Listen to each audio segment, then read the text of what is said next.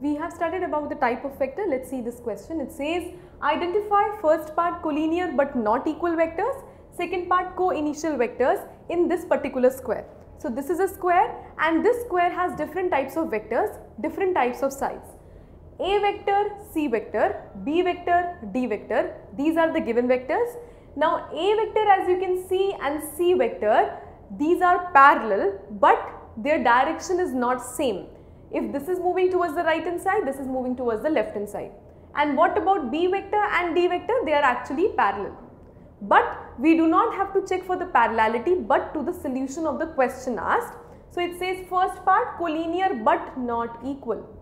So collinear means either they should be parallel or on the same line or equal but not equal. So as you can see B and D are parallel but these are anti-parallel. So we can say A and C.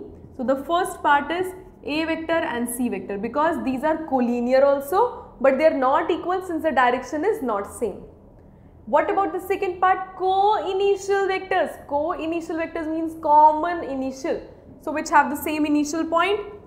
This is a point and from this point B vector is also originating and A vector also. So A and B are co-initial. What about C and B?